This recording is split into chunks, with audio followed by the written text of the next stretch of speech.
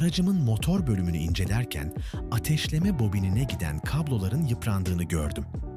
Gördüğünüz gibi eski soketin dip kısmı oldukça aşınmış.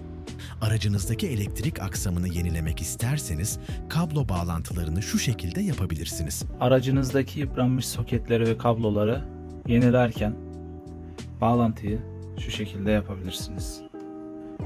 Kabloyu dört uca bölüp karşılıklı olarak çapraz şekilde şöyle yanaştırıp bütün kablo uçlarını tek tek birbirine burgu yapıp izolasyonunu sağlayabilirsiniz.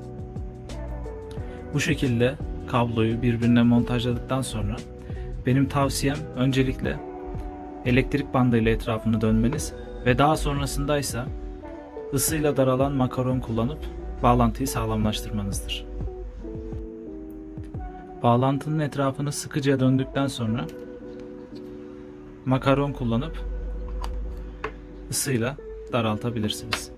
İsterseniz e, aletiniz, edevatınız varsa havya kullanarak lehim ile bağlantıyı daha akıcı bir şekilde sağlayabilirsiniz.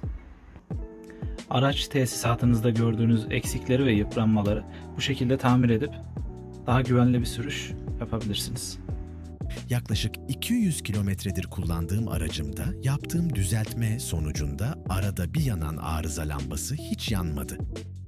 Unutmayın, herkes kendi aracının ustasıdır. Elinizden bu tarz işler geliyorsa biraz uğraşla birlikte otomobilinizi daha güvenli hale getirebilirsiniz.